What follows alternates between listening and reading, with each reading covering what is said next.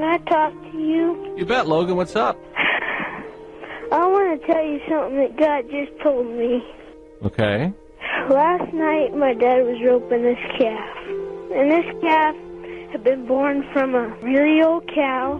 She she didn't have really the greatest milk. She didn't have like the vitamin C and stuff.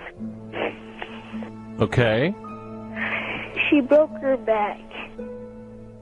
And morning I went out and put her down myself. I was talking to God. I was asking God why she was special. And God said, You know, Logan, my son was special, but he died for a purpose. It's kind of the same thing. That calf was close to me, and God's son was close to him. Logan, you're you're so right. It's true. Think you're gonna be okay? Yeah, I'll be fine.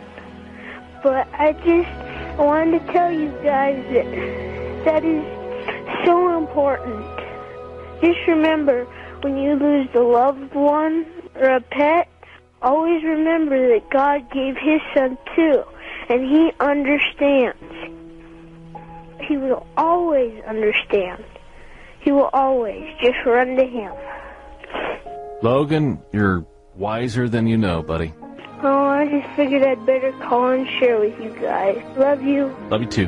Bye. Love.